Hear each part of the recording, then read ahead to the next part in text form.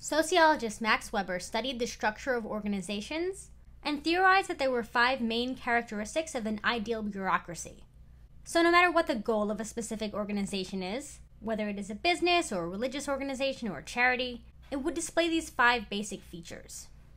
The first is the division of labor. So, within a bureaucracy, people are trained to do specific tasks. So, the person who works in the administration office at your university probably doesn't teach classes, and professors aren't usually responsible for building maintenance. And there are some really good aspects of this. When people specialize, they can really become experts in the areas that they're working in. And it can help to increase the overall efficiency of the organization, especially large scale organizations. But it can also have some downsides as well. According to conflict theory, this type of division of labor can increase feelings of alienation in individual workers because it separates them from other workers and denies them the pride associated with seeing a task through from beginning to end which might also lead to less worker satisfaction and less productivity overall. It can also lead to what's referred to as trained incapacity within the general organization, or cases where workers become so specialized in their tasks that they lose touch with the overall picture. The next characteristic of bureaucracy is a hierarchy of organization. Rather than all members of a bureaucracy being equal, each position is under the supervision of a higher authority. And this can be positive in that it can help to clarify who is in command. It can tell us who is in charge of what. But it can also deprive individuals of having a voice in decision making, especially those who are lower down on the hierarchical chain. This structure can also allow people to shirk responsibility. And this is especially troublesome when it comes to unethical tasks. You may have heard of the term, I was just following orders. This structure can also allow individuals to hide mistakes, sometimes serious mistakes, since no one person interacts with all members. The third characteristic of bureaucracies is the existence of written rules and regulations.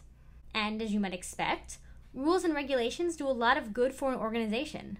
They let workers know what is expected of them, they help to ensure uniform performance by all members or workers, they can help to maintain equal treatment of all employees, and they can give a sense of unity or continuity to an organization because even if individual members come and go, the laws and structure of the organization can remain the same.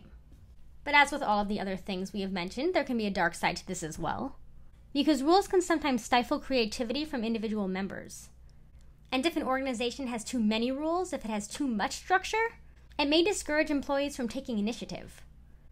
It can also lead to goal displacement, or cases where commitment to following the rules becomes more important than the original goals of the organization. The fourth characteristic is impersonality. And I know that this might sound like it's a completely negative term, but here it's being used in an interesting way. It is used to describe how individuals and officials are supposed to conduct their activities in an unbiased manner. So it's supposed to ensure equal treatment of each person within an organization. But of course, impersonality can also lead to feelings of alienation, because it can lead to the perception that those in charge are cold and uncaring and it can even serve to discourage loyalty to the group. The last characteristic is longer than the other ones. It is employment based on technical qualifications. And I actually kind of see this one as being an offshoot of impersonality, because this describes how hiring within a bureaucracy is supposed to be based on the qualifications that a person has and should not be influenced by either favoritism or personal rivalries. And this can be really positive. Obviously, it can serve to decrease discrimination based on race, gender, or sexual orientation. However, in some ways, it can also serve to decrease ambition, because it might lead people to do only what is necessary to secure a job or promotion and nothing more.